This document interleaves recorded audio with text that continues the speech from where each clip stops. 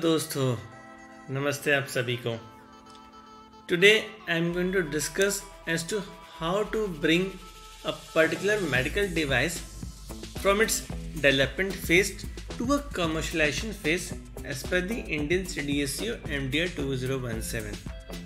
So I am going to focus more on the regulatory pathway as per the Indian CDSCO. So the regulatory pathway is mainly divided into three phases for a particular product. The first phase is the requirement to manufacture a test batches. The second phase is to conduct a clinical investigation study on the investigational medical devices if it's applicable. The third phase of the regulatory pathway is to go under into the commercialization phase. So now let's go deep into all of these three phases. So the first phase is to produce a certain amount of test batches. So what happens my friends? कोई भी company का जो research and development जो department होता है the moment they produce a particular product और let's say उस product का प्रोटोटाइप डेवलप हो चुका है the moment it is been produced So what will happen? The regulatory affair department of a particular company they will go for applying the test license. So you must be knowing there is an online portal uh, for the CDSCO as well as there is one of the online portal which is called as NSWS. So depending upon the opening of the window, the manufacturer can approach, right? So क्या करना होता है हमें test licence application को form M D twelve में apply करना होता है। The moment we apply in M D twelve CDSCO is going to grant permission to produce certain amount of test batches as per the licence filed in M D twelve so they will issue a permission in form of M D one three but वहीं पर जब हम किसी import की बात करते हैं late से कि अगर किसी कंपनी को कोई मेडिकल डिवाइस इम्पोर्ट करना है right right? So what they need to do, they are not supposed to file their test license in form of MD12. Ratherly, they need to apply the application in form of MD16 whereas the CDSCO is going to grant the permission in form MD17. so, दोस्तों क्या होता है usually जो manufacture है अपने आई market space में usually what what will happen they will manufacture three test batches so based on these three test batches, they will generate few data which is required while applying the manufacturing license.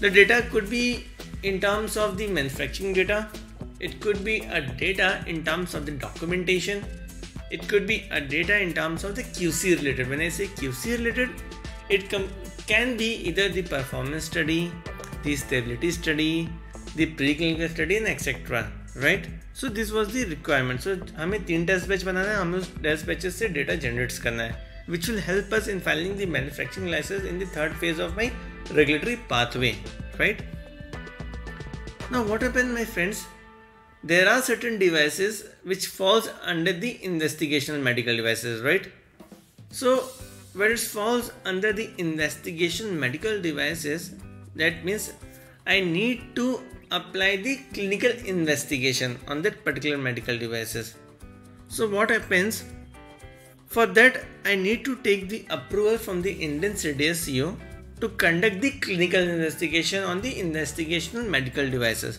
For that, I need to apply the license in form of MD22, whereas my CDSCO is going to give me the permission in form MD23.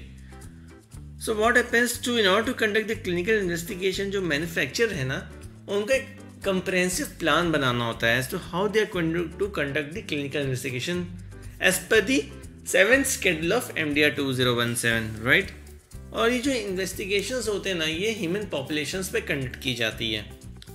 तो दोस्तों, क्या होता है? ये तो हो गया, वो डिवाइसेस की बात करें जो इंडियन के अंदर मैन्युफैक्चर हो रहा है। और कुछ कंपनी ऐसी होती है they import the medical devices from the abroad, from the overseas. So for them, they need to apply the application in form of MD26 while they'll be getting the permission in form of MD27.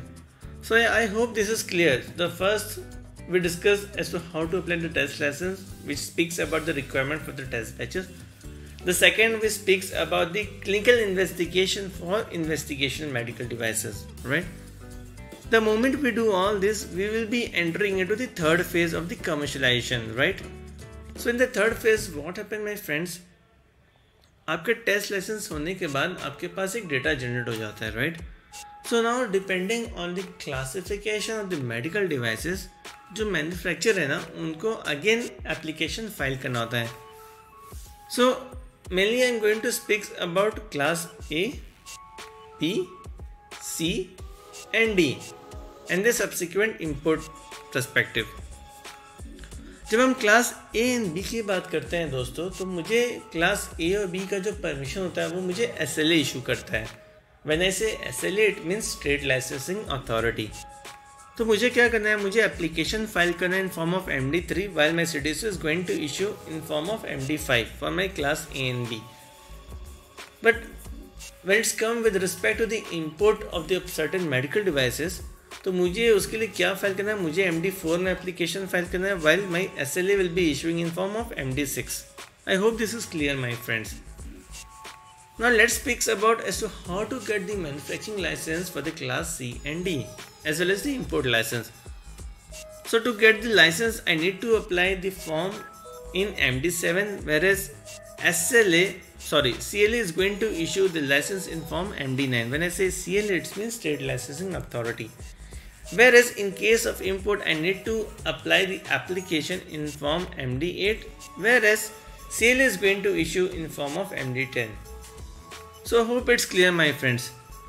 then in the case of import license मुझे क्या करना है once I get the data for the import medical devices straight away I need to go with respect to the import license not the manufacturing license so in that case what I need to do I need to file the application in form MD14 whereas the CLA is going to issue in form of MD15.